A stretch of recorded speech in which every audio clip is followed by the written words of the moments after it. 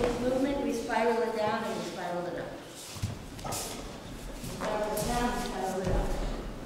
And we move our bodies. If he's really strong, and I don't complete the blend, then it's a joke. So it works really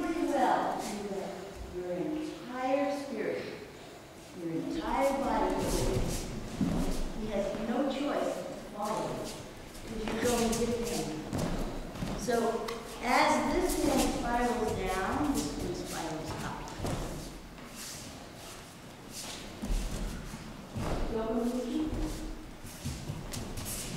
You might be more used to the feeling of that one than here.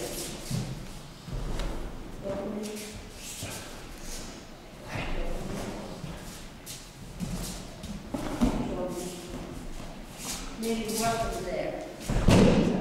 Okay. So now the feeling is to spiral. We'll go to some other attacks. Spiral.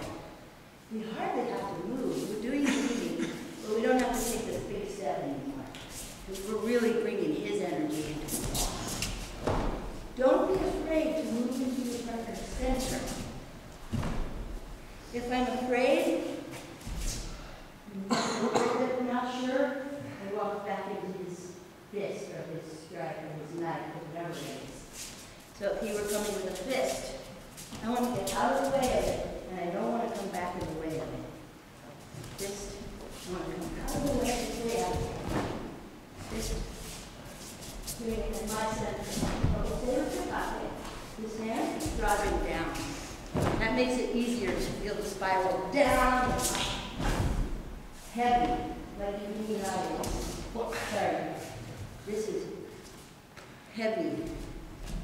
It's not pushing, it's just my weight. So here, this is heavy, heavy, light. First, heavy. And don't look at it. Okay? Have, thank you so much. Yes.